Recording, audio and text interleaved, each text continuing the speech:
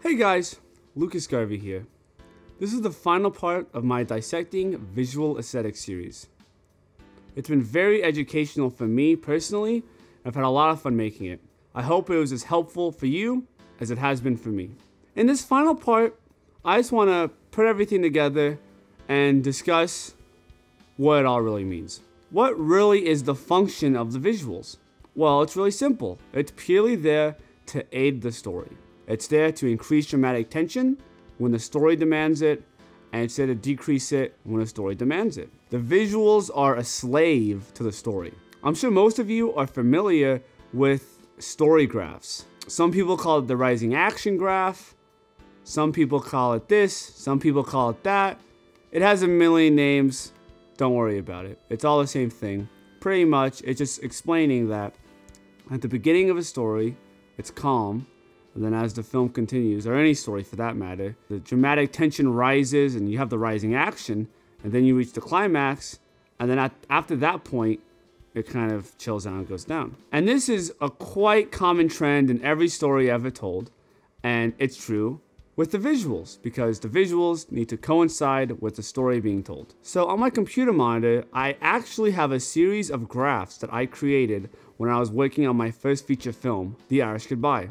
I'm sorry I'm using an example of a film that you guys probably haven't seen before, but I really didn't want to go through the effort of taking another film and reverse engineering it and making graphs for it. So I'm just using my own graphs. So how does a story graph correlate to visual graphs?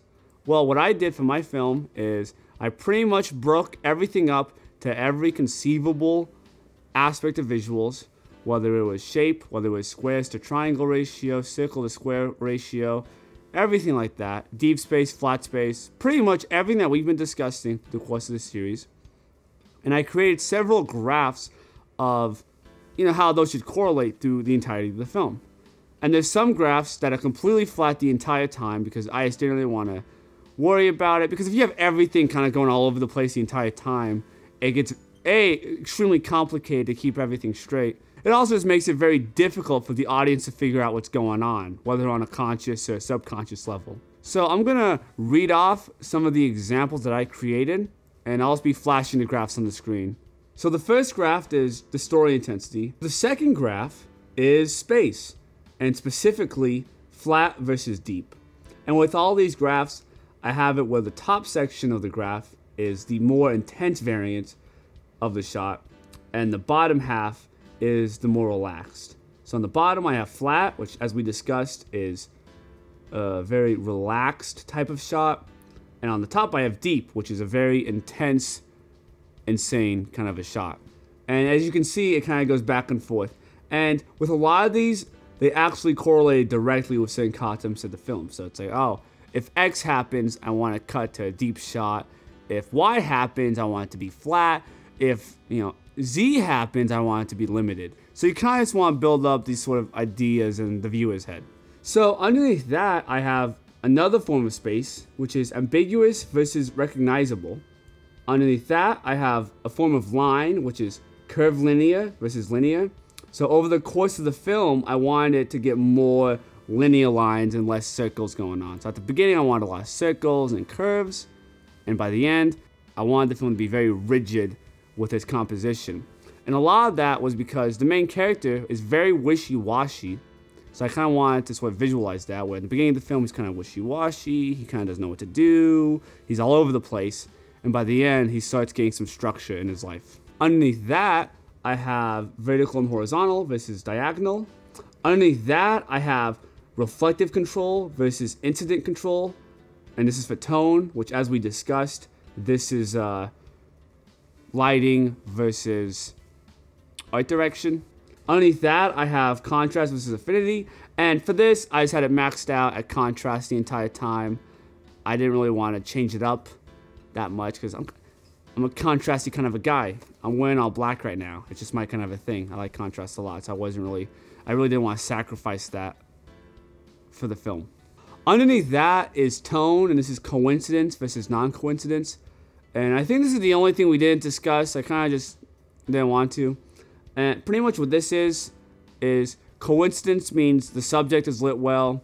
Non-coincidence means you really can't see him, right? So imagine watching a film noir movie and the subject is totally blacked down in shadow and the background's super bright. So it kind of it obscures the subject. The graph underneath that is dark versus light, and this is for tone. And for this, I want the first half of the film to take place at night and the second half of the film to take place during the day. And the reason for that is halfway through the film, an event takes place in which the main character finds something out that he really doesn't like. And it kind of just revealed itself to him. So I wanted to sort of illustrate that in an interesting way. So in the first half of the film, he's kind of in the shadows. He's kind of, kind of almost hiding from everything. He's kind of not accepting responsibility. Not even that he's not even accepting it, but he's ignorant to it, really. And then the second half, he sort of realizes all this shit he's neglecting and not taking care of. And that's sort of another way I use to visualize that.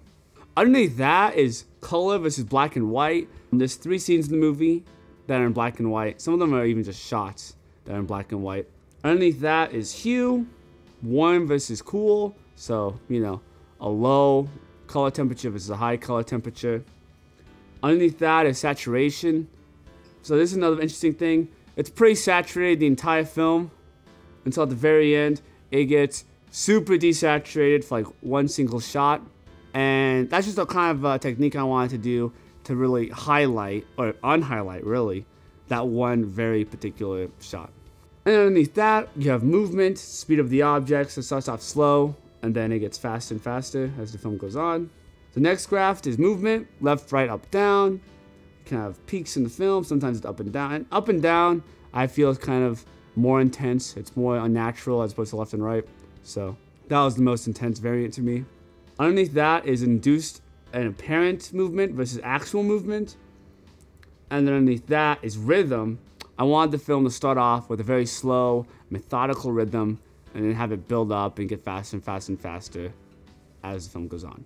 And then underneath that is rhythm, sporadic versus consistent.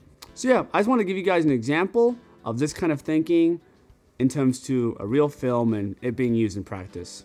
I want to end today's video reading off a comment I got on a post I made on Reddit discussing the rhythm video I posted last week.